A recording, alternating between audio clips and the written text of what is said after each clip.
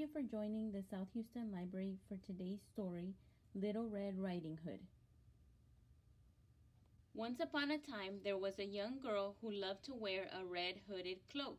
She wore it so often that everyone knew her as Little Red Riding Hood.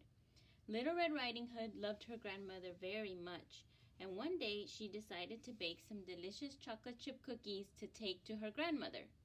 Little Red Riding Hood set off to take the cookies to her grandmother, who lived in the cottage on the other side of the woods.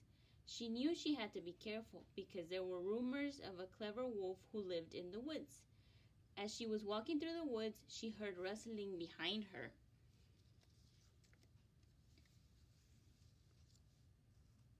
When she turned, she found herself face to face with the clever wolf. Why, good morning, Little Red Riding Hood.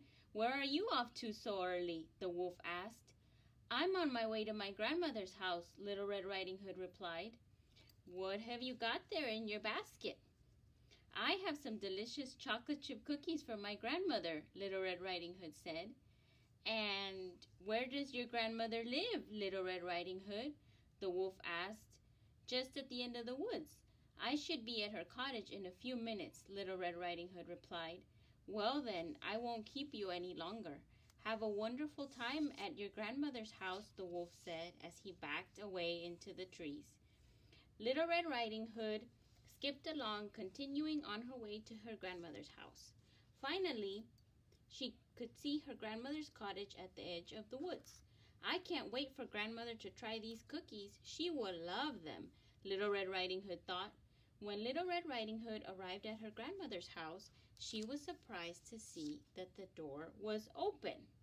She knocked softly on the door and called out, Good morning, grandmother. It is Little Red Riding Hood, and I have brought you some delicious chocolate chip cookies.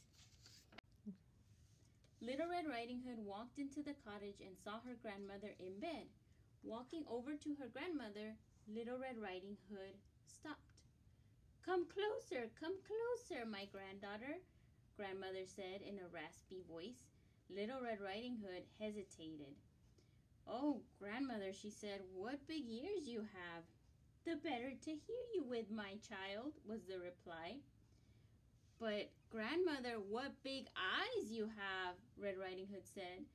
The better to see you with, my dear. But, grandmother, what large hands you have the better to hug you with.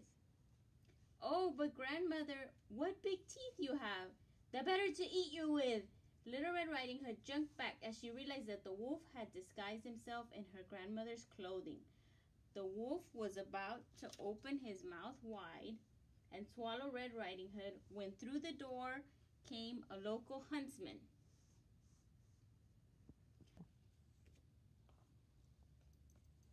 The wolf panicked, running out of the door before the huntsman could catch him. But where is my grandmother? Little Red Riding Hood asked.